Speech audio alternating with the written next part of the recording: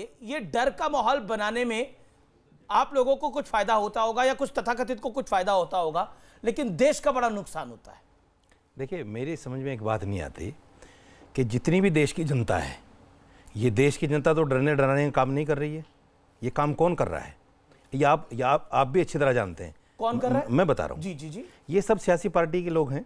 कौन सी सियासी पार्टी? पहले पहले जैसे- जैसे? मैं बता रहा हूँ मैं बता रहा हूँ सुन लीजिए एग्ज़ाम्पल पहले कांग्रेस ने डराने का काम किया हिंदुओं से मुसलमानों को कि जनसंघ आ जाएगा बीजेपी आ जाएगी आरएसएस आ जाएगी ये हो जाएगा वो हो जाएगा और मुसलमान डरता रहा अब उसका बिल्कुल अपोजिट हो गया अब बीजेपी हिंदुओं को डरा रही मुसलमानों से कि अगर इनकी जनसंख्या बढ़ गई बीजेपी हिंदुओं को डरा रही है सुन मेरी मुसलमानों से। मेरी पूरी बात सुन लीजिए मेरी पूरी बात कैसे- सुन- कैसे? मेरी पूरी बात सुन लीजिए आप आप बीच में बात का मज़ा ही किरकिरा कर देते हैं। सुन लीजिए आप मज़े लेने आए हैं इधर? यस हम तो बहस करने आए हैं। आप भी तो मज़े ले रहे हैं।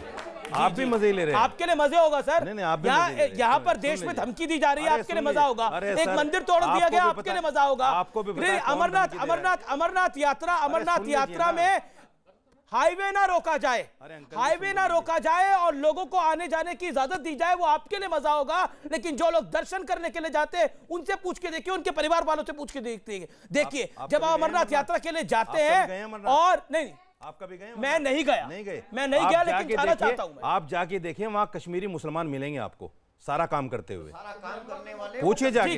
पूछिए जाके। सुशील एक सेकंड सुशील मेरी पंडित, बात पूरी हो सुशील। जाए। ना इस पर इस मेरी पर बात राय पूरी- ले लेते हैं ना। नहीं, मेरी बात सुशील पूरी सुशील नहीं सुशील। एक हुआ हुआ आपकी बात हुई। आपकी बात आपकी बात बात एक मिनट हो गई। सुशील पंडित बोलिए अपनी बात बोलिए बोलिए बोलिए। गलत है चालीस सेकंड चालीस सेकंड। मतलब की बात हो तो आप सुनेंगे। नहीं होगा तो आप दोबारा बोलिएगा ना बात है। दोबारा बोलिएगा ना बात सुशील बताइए कि दुनिया में ऐसा कौन सा तीर्थ है ऐसी कौन सी तीर्थ यात्रा है जो पचास हज़ार सैनिकों की संगीनों के साय में होती है? ये कौन सा ये कैसी श्रद्धा है? कि जहाँ लोग निहत थे बस में बैठी हुई औरतें गोलियों से भून दी जाती हैं ग्रेनेड फेंके जाते हैं लोग मरते हैं और एक बार नहीं छह छह सात सात बार हुआ है ऐसा। 2000 में 1 अगस्त 2 अगस्त 3 अगस्त तीन दिन लगातार हमले हुए। आप कश्मीर जाना चाहते हैं कि नहीं? मैं अमरनाथ यात्रा की बात कर रहा हूँ। जिस अमरनाथ यात्रा बताइए पहले आप। ये बताइए जाना चाहते हैं कि नहीं? बताइए अमरनाथ यात्रा की बात जाना चाहते हैं। कि नहीं? आप अमरनाथ यात्रा जाना चाहते हैं कि नहीं?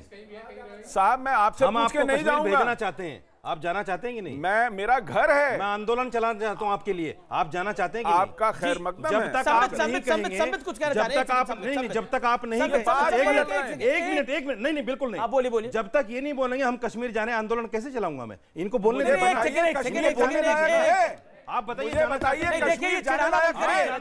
नहीं? बिल्कुल। कब जाएँगे? बिल्कुल। जिस दिन कश्मीर जाने लायक होगा। मैं आपके साथ जिस दिन कश्मीर जाने लायक होगा। जिस दिन से मिलना जिस दिन वहाँ जिहाद का जबड़ा तोड़ा जाएगा मैं जाऊँगा। सर, जिस दिन वहाँ बंदूक की नली तोड़ी जाएगी मैं जाऊँगा। जिस दिन आप कश्मीर जिस दिन वहाँ इस देश का तिरंगा लेकर मैं लाल चौक पर खड़ा हो सकता हूँ सुरक्षा से मैं जाऊँगा। आपके सारे सुख सुविधा छिन जाएँगे। आपको आप इसलिए कश्मीर जाना देखिए क्या क्या बोल रहे हैं सही बात ये है। बहुत सुख सुविधा आपको जो सुख सुविधा यहाँ जी, मिल रही है जी, जी। कश्मीर में जाकर नहीं जाना चाहते एक सेकंड संबित पात्रा को बोलने दीजिए, संबित पात्रा संबित पात्रा की टर्न है संबित पात्रा आपकी आपका वक्त है बोलिए। देखिए डर के ऊपर डिबेट हो रहा है थोड़ा आराम से करते हैं।